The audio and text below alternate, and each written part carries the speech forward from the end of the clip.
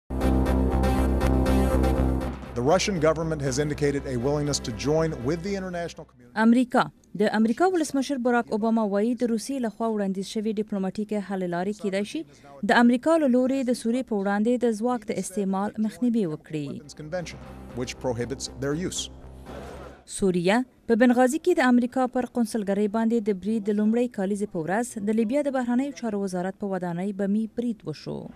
هند څارنوالانو هغو څلور تنو مجرمینو ته د مرګ سزا غواړي چې پر یوې نجلۍ ډله ییزه جنسي تېری کړی دی. فلیپین د امنیتي ځواکونو او مسلمانو ملیشاوو ترمنځ نښتې درېیمې ورځې ته وغځېدلې. اروپايي ټولنې ته په کلنۍ وینا کې د اروپايي اتحاد مشر په اروپايي هېوادونو غږ کړی چې د خپل اقتصاد پیاوړي کېدو ته دې پاملرنه وکړي د شمالي او جنوبي کوریا مشران موافقې ته رسیدلي چې په ګډ صنعتي پارک کې دې فعالیت بیا پیل کړي